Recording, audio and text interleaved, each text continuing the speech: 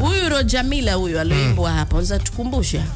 Yes, uh, Roger Milla ni moja kati ya wachezaji bora waliowahi kuzaliwa kwenye taifa la Kameruni mm. lakini pia moja kati ya top top strikers ambao wamewahi kuzaliwa barani Afrika. Mm-hmm. Ana vitu vingi sana Roger Mila. Moja kati ya kumbukumbu kubwa ni mwaka 1990 kwenye fainali za kombe la dunia. Kameruni ndio ilikuwa taifa la kwanza kutoka Afrika kuwahi kutinga kwenye hatua ya robo fainali mm. na yeye alikuwa yuko moto kwelikweli mm. alifunga mabao manne uh, ya kombe la dunia wakati Kameruni wanafika hatua ya robo fainali Okay. lakini pia ukiachilia mbali magoli alikuwa na umri mkubwa mm. Roger Miller mwaka 90 alikuwa na umri wa miaka 38 mm. kwenye mchezo wa mpira wa miguu zikianza miaka 30 kuingia tayari unaelekea kwenye sunset una yes.